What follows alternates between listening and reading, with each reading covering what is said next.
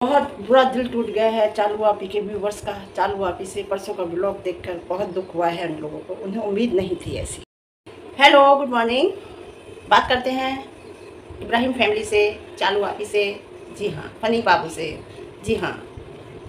देखिए next morning हुई। Next morning इन्होंने दिखाई, हुई या नहीं हुई, इन्होंने दिखाई। उन्हीं कपड़ों में, जो एक दिन पहले के कपड़े थे, जिन्हें पहन कर ये रात को सोई थी उन्हीं कपड़ों में सोई थी, नहीं सोई थी, लेकिन एक दिन पहले के जो कपड़े थे, उन्हीं कपड़ों में फिर ये दोबारा नीचे आ गई, किचन में। इन बातों से ये लगता है कि कितना ट्रोल किया था कि तुम दूसरे, अगले दिन में उन्हीं कपड़े पहने रही, वही कपड़े पहने रही, अब से दो तीन दिन पहले की वीडियो में। लेकिन उस पर कोई असर नहीं उस पर कोई फ़र्क नहीं पड़ा। उससे फ़र्क दिखता है साफ़ कि तुम लोगों की बातों से मेरे को कोई फ़र्क नहीं पड़ता क्योंकि तुम लोगों को आदत हो गई है मुझे देखने की, तुम तो मुझे देखोगे ही देखोगे। ये चालू आप का मुझे ऐसा लगता है, सोचना है। तो दोबारा फिर वो उन्हीं कपड़ों में नीचे आई है किचन में। हम लोगों में, हम अपनी बात बताएँ, जब दुल्हन होती है, नई दुल्हन है, अभी पुरानी इतनी नहीं हुई है, ये एक साल शादी को हुआ है, हमारे यहाँ रात के कपड़ों से किचन में नहीं आती बहू। पहले चाहे वो आठ बजे उठे, चाहे वो सात बजे उठे, चाहे वो नौ बजे उठे, वो कपड़े बदल कर नहा धोकर रसोई में आई। समझ रहे हो ना आप मैं क्यों कह रही हूँ? जी हाँ लेकिन ये उन्हीं कपड़ों में किचन में आ गई। क्या बन रहा है? रुखसाना भी क्या हो रहा है? ये आई, और फिर दोपहर को ये नहाइए जब इसे जाना हुआ है, कहाँ? मिलाद में। तब ये दोपहर को नहाइए। ये एक बहू के वो नहीं होते, जिस टाइप का ये करती है ना मतलब ससुराल में रहती है, इस टाइप का बहुओं का हिसाब नहीं होता है। जी हाँ बहुओं का हिसाब तो एक अलग ही होता है। जी हाँ लेकिन बहुत अच्छी बात है कि ससुराल में भी बेटियों की तरह रहती है। इसे कोई टोकने रोकने वाला नहीं है। जी तो ये दोपहर को नहाइए और नहा कर फिर जब ये बेटी खाना के गई है तो देखा है आपने कि जो वो लड़की है, इसकी मामा की लड़की, कहर कहर कहर क्या है? वो सो रही है है ना? तो सो रही है, जग रही है, जग गई एकदम। उसने तकिया जो लगा रखा है, उस तकिए पे जो प्रिंट है, इसके भैया भाभी का है। तो भैया भाभी को देख के तकिए के प्रिंट पे खुश हो जाओ, क्योंकि वैसे तो वो भाव तुम्हें ज़्यादा देती नहीं है। लेकिन तकिए पे इसने कहा कि, लो भैया भाभी से भी मिल लो। लेकिन ये कहने के बाद इसका फेस का एक्सप्रेशन देखते इसका फेस का एक्सप्रेशन कैसा? खूब खटास हो गई है रिश्तों में अब। खूब खटास हो गई है। अच्छी तरह। भाई कोल्ड कोल्ड वार तो इनके चलता ही चलता था, है ना? एक दूसरे के प्रति दिल में तो था, लेकिन अब मुँह पे भी, जवान पे भी आया है, थप्पड़ भी खाया है, चालू आप ही ने लेकिन अब रिश्तों में वो चीज़ बात गर्माहट रिश्तों में नहीं, जी हाँ नहीं रही। और कह रही है, मैं मम्मी को मम्मी पापा को मिस कर रही हूँ। झूठ तो बोल रही पापा को मिस कर रही हूँ? नहीं, मम्मी को मिस कर रही हूँ। पापा को मिस नहीं कर रही हो? पापा को तो आप वहाँ रह के भी पापा से कभी नहीं मिलती। जब जाती हो, जब मिलने जाती हो, जब आती हो तो जब मिल के आती हो। या कभी रहती हो तो कभी तीस त्यौहार पे मिल लिए।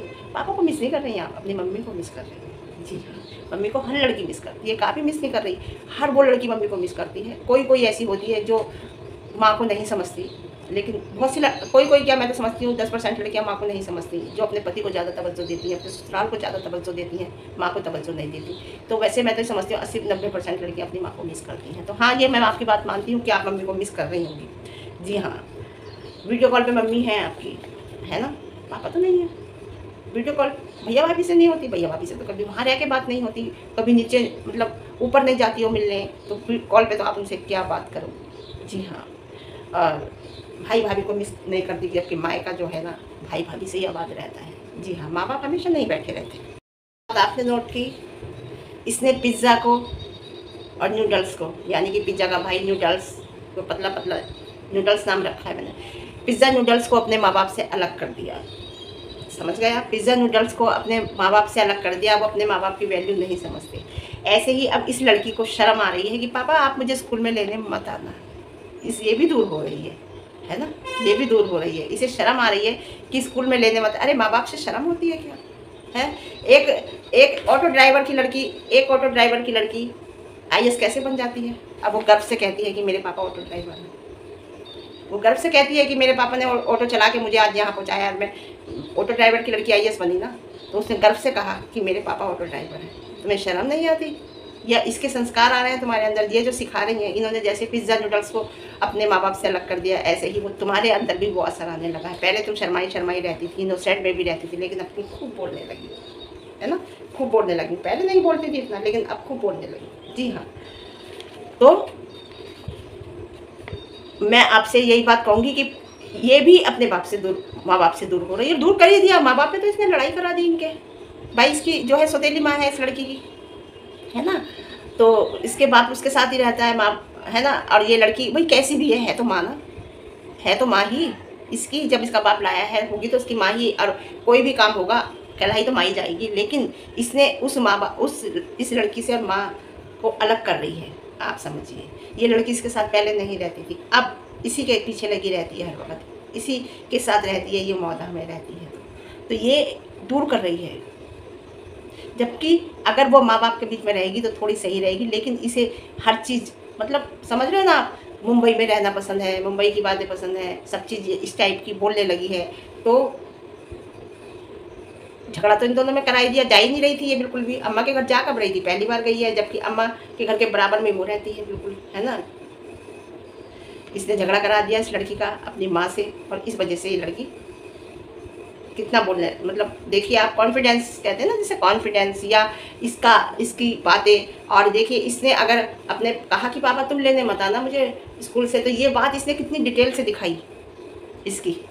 और पिज़्ज़ा और नूडल्स अपने माँ बाप की कितनी इंसल्ट करते हैं, बात भी नहीं करते, बोलते भी नहीं हैं, बाप इतनी दूर से आए हैं। इतने सालों के बाद आए, तब भी वो लोग इतने अच्छे से मतलब उनसे नहीं मिले। और अब भी वैसे भी बात नहीं करते हैं पिज़्ज़ा नूडल्स लेकिन उनका कुछ नहीं दिखाती, उनका कुछ नहीं बताती। लेकिन इस लड़की का देखिए, इसने कितनी डिटेल से सब बात दिखाई, है ना? जी हाँ तो सब चीज़ें देखने की और सोचने की। इसमें फ़र्स्ट टाइम मुहर्रम देख रही हूँ, आप शायद भूल गए, पिछले साल भी ये सब हुआ था, पिछले साल भी आप लोगों ने इतना ही सब कुछ कहा था कि ऐसा नहीं होता, वैसा नहीं होता। जी हाँ तो भूल गए आप लोग। बाय स्कूल जा रही ना बेटे की बेटी उसे बाय किया है। तो पिछले साल भी यही सब हुआ था, जो इस साल हुआ है मुहर्रम में। ऑडियंस भूल जाती है। और कैरियर गाइस मैंने पहली बार देखे, पहली बार नहीं देखे, आप भूल गई हो। पिछले साल भूली नहीं है, सब याद है, इसे बेवकूफ़ बनाती है पब्लिक का। जी हाँ और रुपैया को इस बार इसने ज़्यादा भाव नहीं दिए। रुपैया भी थी, देखा था आपने? हाँ वहाँ पर रुपैया भी थी, लेकिन इसने उसे ज़्यादा बात नहीं करी, ज़्यादा भाव नहीं दिए, आपको बताऊँ। और वीडियो में कह रहे हैं फनी बाबू कि वो, फनी बाबू तो फनी बाबू हैं, क्या कहें उनसे? बहुत लालची इंसान है पैसों का। इतना लालची पति नहीं, कुछ नहीं चाहिए, पैसा चाहिए, अगर लालच नहीं होता तो मैंने आपको परसों की वीडियो में कहा था कि ये सब नहीं होता जो ये सब करता है। जी हाँ। और आपको बताऊँ कि मतलब मतलब इसने हाँ। फ़नी जो है, कह रहा है कि सारे, भाई ट्यूशन से ने बात कर ली है ट्यूशन पढ़ने चले जाना तुम। तो वो पूछ रही है, कौन से सब्जेक्ट का? फ़र्स्ट ईयर में है वो हाई स्कूल उसने पास किया है फ़र्स्ट ईयर या इंटर में है शायद। आई है वो तो पूछ रही कौन से सब्जेक्ट का? तो कह रही है, कह रहे, अरे, तुझे सब सब्जेक्ट पढ़ाएँगे वो। चला जाइए तू तो चली जाइए, अपना पूरा बस्तर लेके। अरे यार हाई स्कूल पास कर चुकी है वो। अब सब्जेक्ट भाई तो पढ़ाते हैं, उससे पूछो कौन सा सारा सब्जेक्ट एक टीचर कैसे पढ़ा देगा? मेरी तो समझ से बाहर है भाई। पनी बाबू, तुम बताइए। किसी ने ये बात पूछी भी नहीं कमेंट बॉक्स में कमेंट करके? तो ये बात बताइए आप, सारे सब्जेक्ट एक टीचर कैसे पढ़ा देगा? मैथ का अलग होगा इंग्लिश का अलग होता है फिजिक्स फिजिक्स का अलग होता है केमिस्ट्री का अलग होता है। सारे सब्जेक्ट एक ही टीचर पढ़ा देगा? वाह भाई वाह फनी वाह तुम्हारी तो बात ही अलग बात ही अलग देखो कि चालू आप ही ना ज़्यादा बढ़िया कपड़े नहीं पहनती हैं, ससुराल में बहुत अच्छे कपड़े नहीं पहनती हैं। पहनती है तो एक पहनती है तो पहने रहती है अगले दिन तक कोई। बहुत अच्छे कपड़े नहीं पहनती है ना? क्यों नहीं पहनती? क्योंकि बहुत अच्छे कपड़े पहनेंगी तो सास तो नॉर्मली पहनती हैं, इसलिए, लेकिन बहुएँ तो अच्छे पहनती हैं, लेकिन ये चालू वापी लाती भी नहीं है मुझे लगता है ज़्यादा, और पहनती भी ज़्यादा अच्छी नहीं है। और तो क्या कहते हैं, आप शायद भूल रही हो कि ये कत्ल की रात होती है, शहादत की रात थी, और आपके यहाँ ढोल बज रहे थे। मैं ज़्यादा तो नहीं जानती, लेकिन इतना ज़रूर जानती हूँ कि ये शहादत की रात होती है। लोग रोते हैं, औरतें अपनी चूड़ियाँ उतार देते हैं, काले कपड़े पहनते हैं, ज़्यादा खुशियाँ, खुशी की तो कोई बात ही नहीं होती। है ना? और इसमें जो है बड़े शौक से मनाया, शौक मनाया जाता है।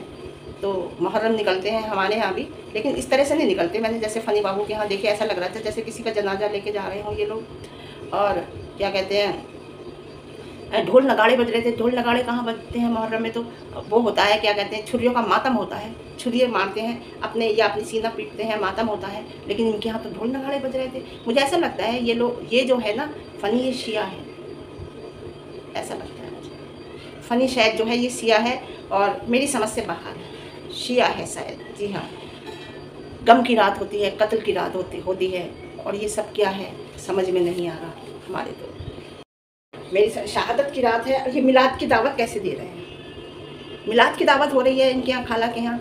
इधर कत्ल की रात है, मुहर्रम है और ये जो है, दावत दे रहे हैं, समझ से परे है सब बात। कौन लोग हैं ये जो अपने, अपना रिलीजन के बारे में नहीं जानते, अपने धर्म के बारे में नहीं जानते? अरे मतलब बच्चा कोई सा भी हो, किसी भी धर्म का हो, जिस जात में बचपन से रहता है, वो उस जात को, अपने धर्म को अच्छी तरीके से जानता है और अच्छे तरीके से फॉलो करता है, क्योंकि वो हर चीज़ वही देखता है जो उसके यहाँ होती है। मुझे तो ऐसा लगता है कि ये अलग कास्ट का है, फ़नी, और ये अलग कास्ट की है। ये शिया है, फनी, मुझे ऐसा लगता है। जी हाँ और सबसे बड़ी बात ये कि चलो हज की दावत पे चली गई, वो कोई बात नहीं, लेकिन ये जो मिलाद हुई है, ये मिलाद किस खुशी में हुई है? मुहर्रम की बात कर लेती वो इतनी जल्दी थी क्या? है? शर्म नहीं आती इन लोगों को। मुझे बड़ा दुख हुआ है। लोगों का ना, इसका बहुत मतलब समझ लीजिए कि दिल टूटा है देख कर जो ऐसे लोग अपना अच्छे से समझते थे, बहुत सोचते थे मतलब अच्छा समझते थे, सोचते क्या थे कि यही कि शायद अपने धर्म के बारे में तो ये अच्छे से जानती है, लेकिन लोगों का दिल टूटा है बहुत ज़्यादा। का परसों की वीडियो देख के, परसों की वीडियो थी हाँ परसों की वीडियो देख के मैंने तो कल ही देखी है। बहुत दिल टूटा है। और बहुत लोगों ने यही कहा है कि यार तुम अपनी धर्म के बारे में नहीं जानती हो। ये सब क्या हो रहा है? ये इस लोग भाई देखो, हिंदू, मुसलमान दोनों देखते हैं। अब मान लो मोहम्मदों ने देखा तो उन्हें तो सब कुछ पता है ना। तो उन्होंने इस बात का अफसोस जताया कि कैसी हो तुम, जो तुम्हें ये ही नहीं पता। अब चलो, हो भी रहा था तो तुम्हें दिखाने की ज़रूरत क्या थी? बहुत से लोग को, लोगों को तो ये जो देख लिया उन्होंने तो वो भी एक गुनाह है। जिन्होंने जो मोबाइल आपकी वीडियो देखी तो वीडियो में अगर ये सब कुछ देखा तो वो भी उनके लिए गुनाह था, वो लोग लिख रहे थे। तो हम लोग अगर देख रहे हैं तो हम यही सोचेंगे ना कि ये कैसे लोग हैं जब अपने धर्म के बारे में नहीं पता। तो बहुत लोगों का दिल टूटा है, बहुत लोगों को अफसोस हुआ है। जी हाँ। और देखिए कहते अब मैं तो जानती नहीं हूँ, मैं तो कुछ जानती नहीं हूँ गाइज़ मैंने फ़र्स्ट टाइम देखा है, झूठ बोलती हूँ फ़र्स्ट टाइम नहीं देखा, पिछले साल भी ये सब हुआ था। और आप थी यहाँ पर ही, और क्या कहते हैं, मोदाह में ही थी आप। हर चीज़ आप फ़र्स्ट टाइम की देखती हो और तुम्हें कुछ नहीं पता। तुम्हें, है ना? क्योंकि तो एक बात बताओ मैं तुम कुछ नहीं जानती हो। कहते मैं तो कुछ जानती नहीं। तुम जानती क्या हो? अपने रिलीजन के बारे में जानती, अपने धर्म के बारे में नहीं जानती, खाना बनाना नहीं जानती, घर का काम नहीं जानती। चलो, चलता है, लोग कहते हैं। लेकिन यार, ये तो बहुत बड़ी बात है कि आप अपने धर्म के बारे में नहीं जानती कि हमारे धर्म में कब और क्या होता है और कैसे होता है।